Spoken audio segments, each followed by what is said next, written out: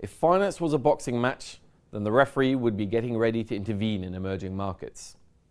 Already on the back foot because of fears of a tighter US monetary policy and taking a pounding from sliding commodity prices, the developing world's stocks, bonds, and currencies have just been on the receiving end of a haymaker from China in the form of its modest but ominous devaluation.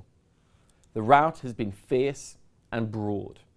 Turkish lira, the Mexican peso, South Africa's rand all touched new record lows versus the dollar on Monday, whilst the currencies of Malaysia and Indonesia slumped to the lowest since the Asian financial crisis of 1998. JP Morgan's EM currency index has now declined 2.4% this month, to its lowest reading since it was first calculated in 2000. The pain is also being felt in equities and in bonds. The difference between the trailing price to earnings ratio of EM and global stock markets is now at the widest since the financial crisis.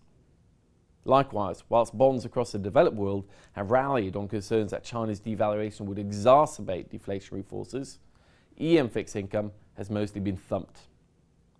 But these recent moves look extreme given the paltriness of China's devaluation, and currency war chatter is, for now at least, hyperbolic. The more freely traded offshore renminbi is down just 3.6% over the past week, after climbing for the last two days. And the People's Bank of China has assiduously sought to calm fears over a deeper devaluation. Nonetheless, EM investors are in a sell first, ask questions later mood at the moment. And even a small renminbi depreciation is understandably alarming. Many developing countries have grown dependent on China for economic growth, and Beijing's moves underscores the darkening outlook. With the Federal Reserve probably still on track to lift interest rates this year, things are likely to get rougher still for emerging markets. A modest rebound would be welcome and overdue, but it will likely prove a fleeting reprieve.